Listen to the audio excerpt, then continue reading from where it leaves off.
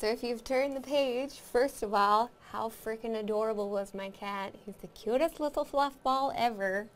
But now, I'll just put a picture in of what he looks like now. I don't know what happened either. That's okay. So, my beloved cat Leo, that's really his name, Leo the lion, he fell into a well this summer. Didn't actually happen, just for math purposes. I was able to rescue him by lowering a basket at a rate of negative 2 feet per second. He was trapped down there for 10 minutes, equivalently 600 seconds. We want to determine how deep the well was. So whenever we have a relationship between a distance, a rate, and a time, we use that DIRT formula. Distance equals rate times time. We'll work with it more later um, in this class, but for now just introducing it. There's a relationship between distance, rate, and time. So what are we trying to determine? How deep the well was. So we're solving for what part of that formula? Distance. I know the rate, how fast was I lowering the basket?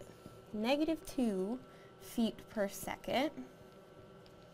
And how long was he down there for? 10 minutes or 600 seconds. So, which, uh, which kind of unit do I want to work with? Which conversion do I want to use?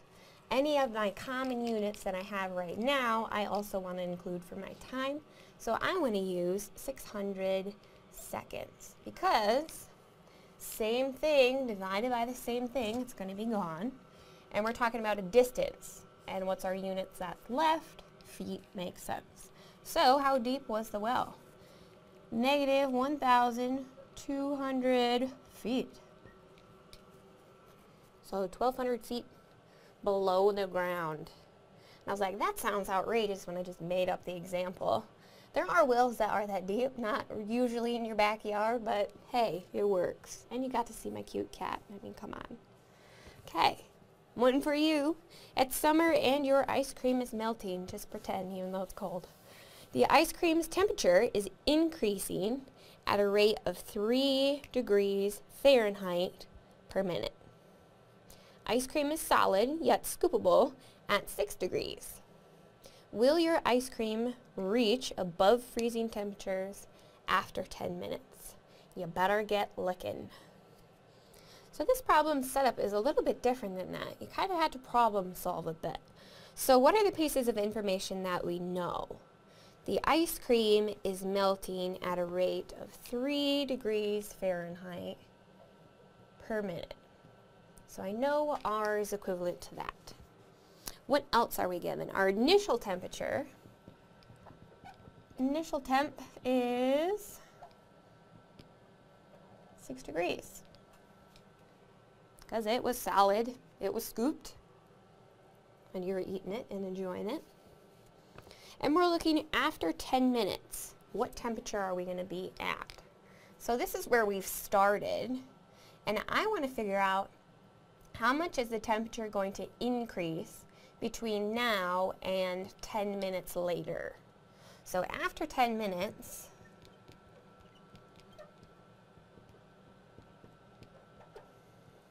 temperature will have raised how much?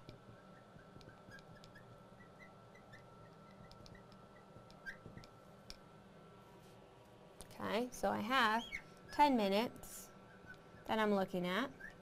And for every minute, it is increasing by 3 degrees. So I need to multiply that by 3 degrees Fahrenheit per minute, the rate that it's increasing. Minutes, minutes are going to be on, and it's increased by 30 degrees. So, initially I was at 6. 10 minutes later, I've gained 30 more degrees. So after 10 minutes, what is the temperature of my ice cream? So the temp of ice cream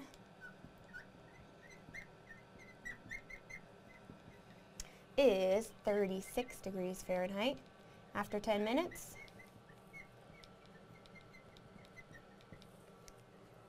Alright, so is it above freezing? You gotta lick a whole lot faster? Yeah, by 4 degrees.